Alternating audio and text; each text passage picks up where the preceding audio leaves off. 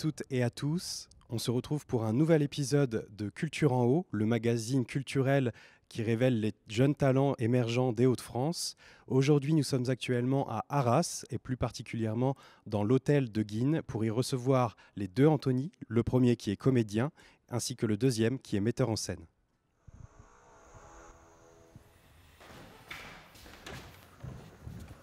Retenez.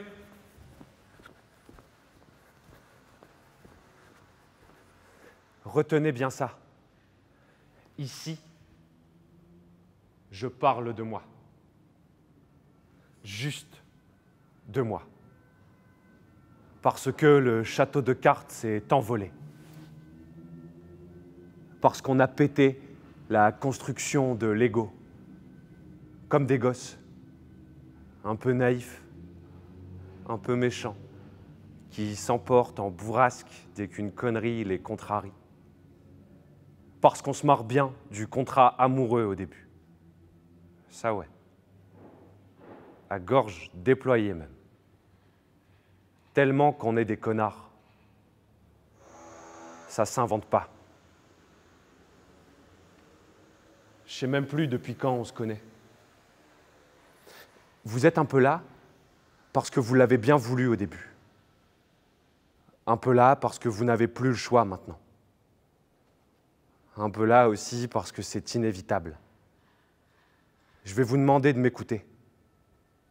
Ça va être drôle. Et ça va être dégueulasse. Je vais surtout vous demander de la fermer tout du long. Ne répondez pas.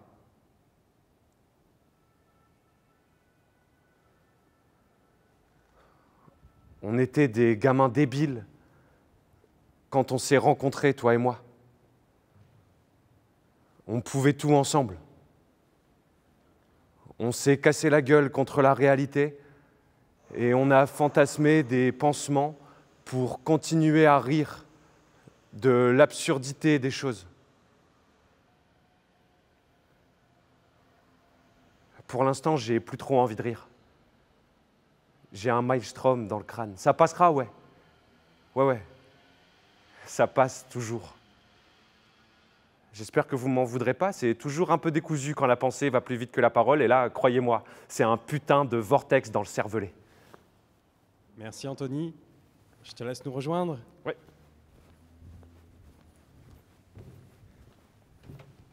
Je t'en prie, je te laisse t'asseoir et voici le micro.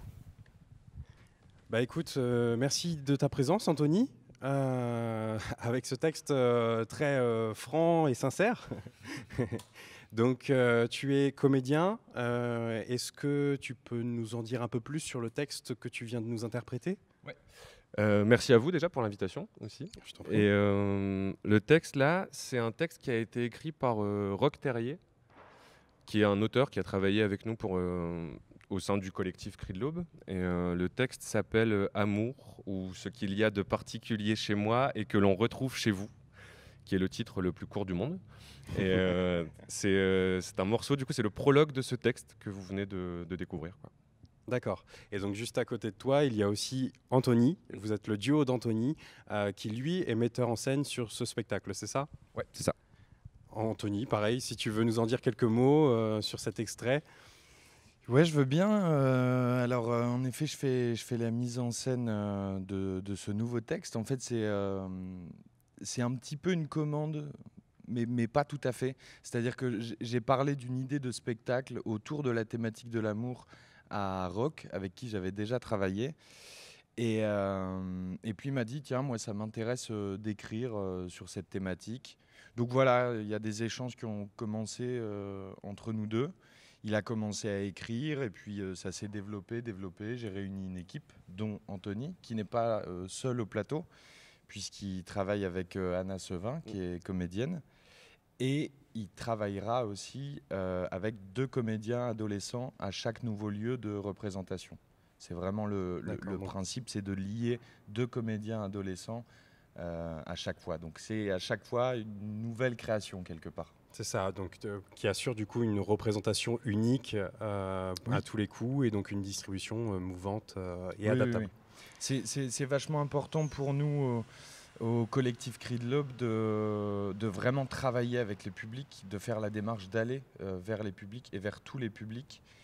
Donc ça se ressent aujourd'hui dans, dans, nos créations. Euh, c'est pas la première fois qu'on mêle comme ça les publics à la création. Mais là, ça, sera la première fois qu'on les mêle autant, je dirais, parce que les mmh. deux adolescents qui vont les rejoindre jouent un rôle à part entière. Quoi. Donc mmh. ça nécessite un temps de travail avec eux, des répétitions, etc. Bien sûr. Tu nous parles du collectif Cri de l'Aube. Euh, du coup, ça m'interroge sur euh, quel a été votre, votre parcours, notamment toi, Anthony. Mhm. Euh, quel a été ton parcours? Qu'est-ce qui t'a fait prendre conscience que tu voulais te lancer dans cette profession qui est, qui est la profession de comédien? Prise de conscience, je ne sais pas s'il y en a eu, parce que moi, j'ai été obligé de faire du théâtre un peu. D'accord. en fait, je suis arrivé en sixième dans une classe APAC, ça s'appelait comme ça à l'époque. en fait, on avait 8 heures de français par semaine, 4 euh, heures de français et 4 heures de théâtre en fait, où on travaillait en théâtre ce qu'on travaillait en français. Euh, et, ça m'a bien plu, du coup j'ai continué ensuite au collège. Euh, il y a un atelier artistique qui s'est ouvert, là où on s'est rencontré avec Anthony en fait. ça a continué, après je suis parti au lycée en option théâtre. J'ai fait un an de conservatoire aussi à Douai. Après je suis parti à la fac en licence d'art du spectacle à l'université d'Artois. Et puis, euh, et puis voilà, en fait, j'ai suivi un chemin un peu classique, quoi. Mmh. Mais euh, il n'y a pas eu de vraie prise de conscience de me dire, tiens, je vais faire ça. Ça s'est présenté à moi et puis euh, j'ai adoré ça et j'ai continué. Quoi. Et ça s'est fait d'une manière assez naturelle au final. D'accord. Et, toi, peut-être, Anthony, si tu peux nous, nous, en dire un peu comment tu es rentré dans. Bah, je ne vais pas dire grand-chose d'original parce qu'on a vraiment un parcours, euh, un parcours similaire. On vient du même endroit. On s'est rencontrés en effet très tôt à, l'atelier artistique euh, au collège. Et vraiment, j'ai fait le même conservatoire qu'Anthony. J'ai fait la même université. Donc. Euh, mais je dirais que ce qui m'a amené au théâtre, c'est vraiment des, des, rencontres, en fait. Et, et étrangement, au départ, pas forcément avec des, avec des praticiens du théâtre, mais plutôt avec des enseignants. Euh, qui nous ont fait découvrir ça euh, au travers de l'atelier artistique et, puis d'autres en fait. depuis tout petit, c'est tout le temps des enseignants qui m'ont amené à cette discipline. Et puis je me suis laissé avoir quoi. et ce qui est assez génial, c'est que ça s'est toujours fait euh, très très simplement quoi. Enfin, je, parle pour moi, je parle pas pour, pour Anthony, je sais pas, mais à chaque fois c'est des petits, euh, on glisse un truc quoi. Mais euh, tu trouves pas que c'est bien Tu sais, il y a une licence qui ouvre à Arras là. Peut-être que tu pourras aller en licence d'art du spectacle. Enfin, je sais pas, hein, tu fais comme tu veux, mais ça a toujours été des petits euh, des petits messages comme ça. Et entendu. Ouais, ça. Et on est, enfin, je pense qu'on a eu tous les deux la chance d'être entourés de professeurs bienveillants à chaque fois. Et et c'est hyper agréable quoi. Bien sûr. Avec ton parcours, euh, j'imagine que tu as euh, peut-être énormément d'influence théâtrale. Est-ce que tu, tu as euh, un, auteur particulier ou un, type de, théâtre que tu, es, que tu apprécies particulièrement? Type de théâtre, non. Je suis, je suis curieux, quoi. je m'intéresse à tout. en auteur, j'aime beaucoup Tennessee Williams. Mhm. Depuis, depuis le lycée, bah, j'ai découvert ça aussi grâce à un professeur en seconde. Quoi. Mais euh, ouais, c'est un auteur qui me, qui me parle beaucoup et qui m'intéresse beaucoup. Euh, c'est hyper réaliste et c'est aussi la façon dont ça dépeint euh, le, les portraits familiaux, le, cadre familial. Ça, ça, me parle beaucoup. Et ensuite, oui, je pourrais, je pourrais citer des metteurs en scène, mais, mais je m'intéresse vraiment à beaucoup de choses. Je sais pas, on peut dire David, David Bobet, l'esthétique est, l'esthétique est superbe. J'en ai pas d'autres là en tête qui me viennent tout de suite. Mais, euh, mais ouais, tous les, tous les metteurs en scène contemporains qu'on peut, qu'on peut croiser là en ce moment euh, font un joli travail, même si c'est euh, c'est assez rigolo parce que moi, c'est des choses qui m'intéressent en sachant que c'est très loin de moi. Parce que, comme le disait Anthony, on a plutôt tendance à aller vers les gens, nous, à, faire du théâtre avec les gens. Et parce que c'est là pour nous que. Enfin, je parle un peu pour toi là, mais, mais que ça. Pour nous, c'est là que ça prend du sens, quoi. Mais, euh, mais ouais, je suis assez admiratif de, de, de ces travails-là et de ces grosses machines que ça peut être. Je pense que c'est pas là où je prendrai le plus de plaisir, mais c'est hyper agréable à aller voir euh, en tant que spectateur. Quoi. Bien sûr. Et, toi, du coup, si tu devais donner un nom euh, ou, ou au moins un, domaine un peu artistique qui touche au théâtre C'est vrai qu'un nom, c'est compliqué parce que pour moi, les influences, c'est vraiment énormément de, énormément de choses à la fois. Euh, ces derniers temps, c'est très axé sur la rue. le travail de l'Acta Compagnie, euh, euh, je le trouve assez, assez magique avec leur, leur zone d'expérimentation facilitée. les grandes compagnies de rue, Opposito, Générique Vapeur, bien entendu. Mais ouais, vraiment, les influences, c'est très varié. Je, monte toujours un spectacle mmh. en partant de, de, quelque chose de vécu. Alors le principe n'est pas de faire euh, ma vie, mon œuvre, pas du tout. Mais, euh, mais j'estime que pour parler de quelque chose, il faut l'avoir traversé au moins, un minimum. Ou en avoir au moins un minimum connaissance. Ben oui, oui. Donc, donc c'est un peu une grande phrase, un peu bateau, mais les influences, c'est tout le temps et c'est un peu la vie de manière générale. C'est une rencontre, c'est c'est une actualité. Ça, ça, peut être vraiment très très varié. Et en théâtre, parce que je sais que tu veux que je donne un nom, donc je vais en donner un. Non, non, mais euh. Euh, je, comprends parfaitement ce que tu dis. Euh, c'est tellement difficile, il y a tellement d'histoires, tellement d'expériences, tellement de textes, tellement de narrations différentes que, que c'est terriblement difficile de se cantonner à un seul mmh, nom. Mmh, mmh. Mais si tu insistes, je t'en prie. si je dois en donner un, je dirais que j'aime bien le travail de Lémi Bonifacio qui, est un, metteur en scène euh, néo-zélandais qui fait des choses que je ne ferais pas du tout, qui sont très, très, très. Euh, j'ai pas de terme pour ça d'ailleurs. Hein. C'est du théâtre du cosmos, quoi. c'est très, très contemplatif. C'est ça.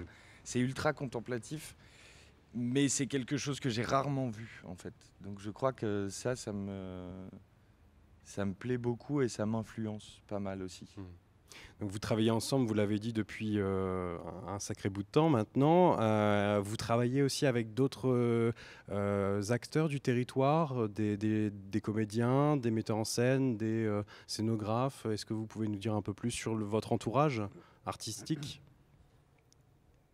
Oui. on travaille avec énormément de monde. Donc déjà, le, le collectif Cri de l'Aube, c'est à peu près une vingtaine de personnes. Euh, il y a des comédiens, des comédiennes, mais il y a aussi des graphistes, des photographes, des auteurs, des autrices. Euh, voilà, il y a plein de, plein de disciplines. Donc déjà, au sein du collectif, il y a, y a, énormément de monde. Et puis, euh, et puis on travaille avec, avec plusieurs compagnies de la région. Moi, j'ai travaillé un peu avec, avec les chiens tête en haut là, à la rentrée précédente. je travaille avec le cabaret Grabuge à Amiens. Mmh avec la compagnie Au-delà du Seuil à Arras, euh, la compagnie Les Lucioles s'en mêlent à Arras aussi. Aussi, ouais. Ouais, à Arras, il y, a vraiment un terreau de, de, compagnies émergentes euh, qui s'est créé et qui mhm. est assez lié. Mm. Parce qu'aujourd'hui, on a besoin de, de, mutualiser nos moyens, nos. De co-construire ensemble, de, créer. Euh, et puis, c'est au cœur de notre réflexion au sein du collectif. C'est pas pour rien que ça s'appelle collectif. Mm. C'est c'est très bien d'ailleurs de s'appeler collectif, mais comment on crée du collectif? Qu'est-ce que ça veut dire? Qu'est-ce que voilà, ça c'est vraiment toutes nos réflexions. Et du coup, on travaille euh, en effet avec plein de d'acteurs euh, différents, quoi. Hmm. Vous résidez tous les deux sur euh, Arras? Non, moi j'habite j'habite à Douai. D'accord, mais du coup tu travailles principalement sur le, bassin d'Arras, très bien. Donc vous êtes déjà venu ou non ici à l'hôtel de Guine oui, oui, oui. vous connaissez un, peu, un peu il s'y, passe, euh, il passe plein de choses. Il y a la fête de la chanson, euh, il y a eu des événements de la Brique, qui est une asso euh, locale aussi. Moi, j'habite juste à côté, donc en effet, c'est un lieu que je, que je fréquente pas mal. On y a joué aussi On y a joué. Au Salon du Livre Exactement, à la Biennale de la lecture. La Biennale de la lecture, c'est ça. D'accord, et donc si vous aviez, euh, donc euh, pour résumer, l'hôtel de Guigne, c'est un endroit euh, qui a été construit en 1738, ici même, en plein centre-ville d'Arras, dans le quartier des Arts. Euh, donc c'est un quartier qui est très dynamique au niveau de, de, l'artistique, du culturel. Euh, est-ce que vous auriez d'autres lieux culturels, euh, pas forcément des salles de spectacle, mmh. mais, mais des lieux culturels, des structures à conseiller à des personnes qui souhaiteraient venir sur Arras, soit découvrir les lieux, soit tout simplement pour les fréquenter habituellement mmh. Des lieux qui vous inspirent en À Arras, hein, ici. À Arras ou dans les Hauts-de-France, mmh. mais en, plus globalement À Arras, moi, je, je conseillerais. bah, c'est vraiment assez centralisé sur le quartier. Il y a juste à côté un café culturel citoyen et solidaire, c'est ça, qui s'appelle le Rat Perché et qui est un endroit où on peut, euh, on peut venir en famille, où on peut découvrir des spectacles, des lectures. euh, C'est c'est vraiment très varié.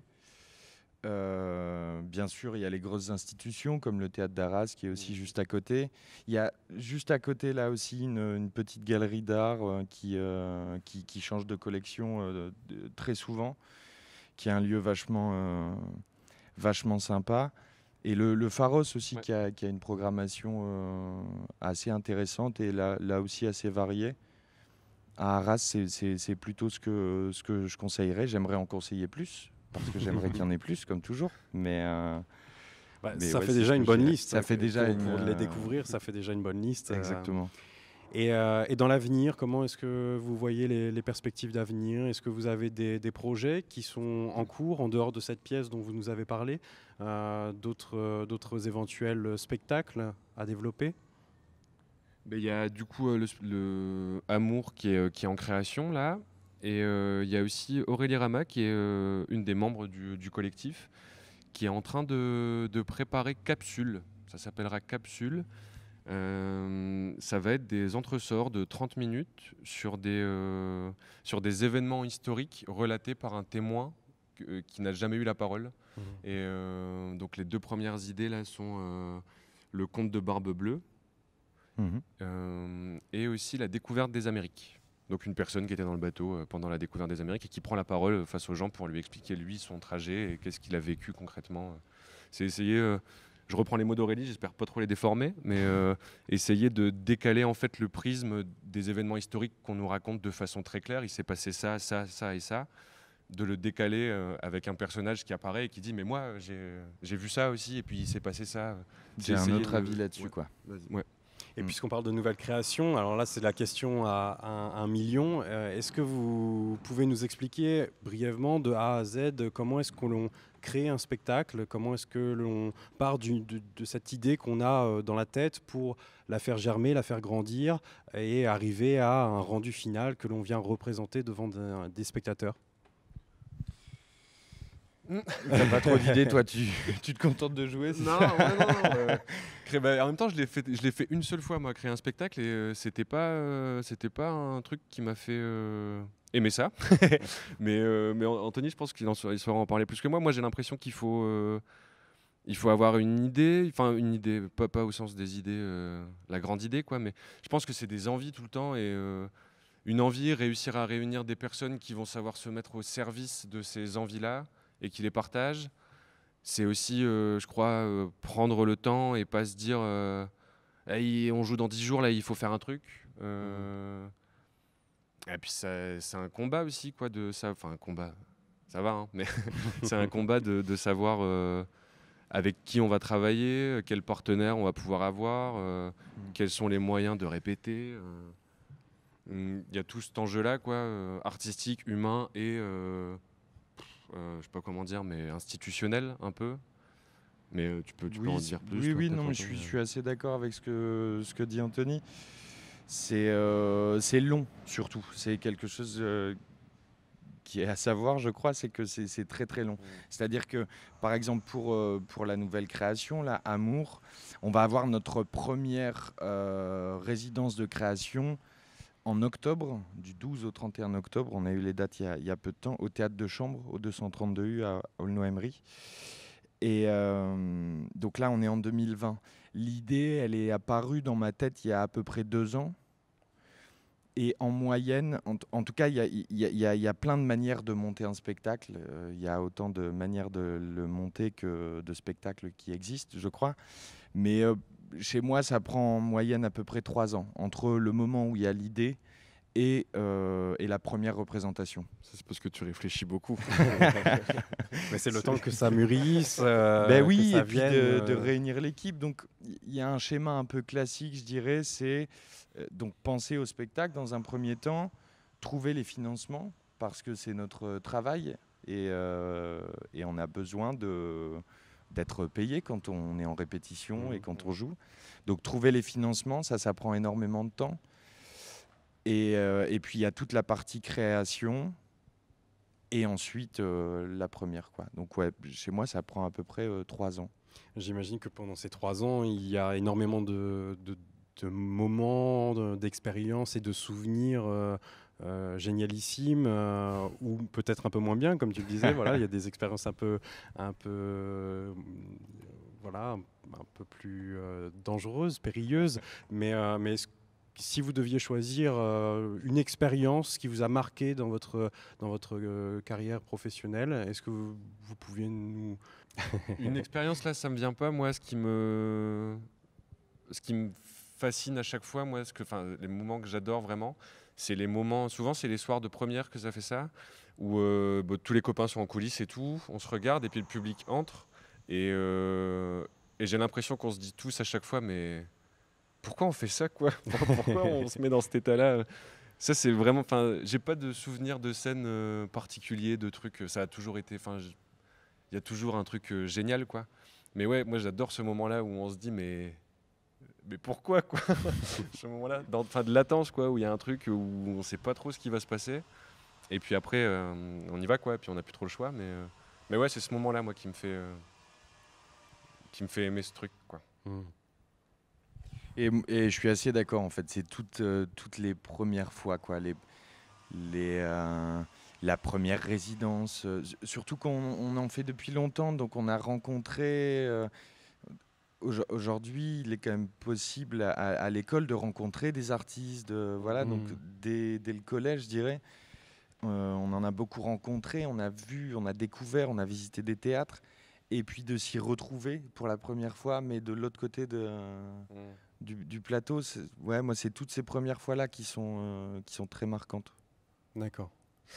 Dans les mois à venir, j'imagine qu'on peut peut-être être amené à vous voir euh, quelque part, ou en tout cas, vous avez peut-être un- une page internet, euh, un, un lien vers vos réseaux sociaux, peut-être. Euh, bah, nous voir, vous allez pouvoir euh, nous voir au 232U euh, au mois d'octobre, parce que c'est le, le prochain, le prochain rendez-vous. Euh, Là, là, on travaille avec euh, le, le lieu culturel Porte-Mine à Lens, euh, à la Maison des Projets. Mais en fait, on ne peut pas vraiment en parler parce qu'il ne faut pas qu'il y ait trop de public, puisqu'on est dans une période très compliquée C'est-à-dire euh, au niveau des rassemblements. Ah Donc, euh, donc on le dit pas trop, mais on le dit quand même. On travaille avec eux en ce moment. On intervient dans certains, dans certains quartiers de, de Lens euh, pour l'été, là, jusque juillet. En effet, il y aura en octobre euh, la, la résidence au 232U. On jouera ce spectacle Amour à Avennes-le-Comte, dans, dans la région, en fait. Mhm. On a quelques dates là déjà qui se dessinent, mais c'est encore la période de production, donc j'ai encore euh, plein de gens à rencontrer euh, pour les convaincre. Et, euh, et on a une page internet, bien sûr, www.cridelobe, Bon, Une page Facebook aussi. C'est www. non, bon, de toute façon, tous les liens euh, seront mis dans les descriptions des vidéos, donc euh, on pourra vous retrouver très facilement. Euh, ne vous en faites pas pour ça. Mais en tout cas, merci d'être d'être venu pour, pour partager ce moment, cette rencontre, en apprendre un peu plus sur vos, vos- vos travaux. Euh, et puis, je vous souhaite de passer une, une très belle journée et surtout une bonne continuation à vous. On espère pouvoir vous voir en octobre du coup. Merci beaucoup. Merci à vous. Donc nous souhaiterions remercier avant toute chose la ville d'Arras ainsi que euh, toute l'équipe de l'hôtel de Guine. Euh, nous souhaitons aussi euh, remercier bien sûr les services de la DRAC Hauts-de-France et en tout cas je vous dis à très vite pour une prochaine émission de Culture en haut.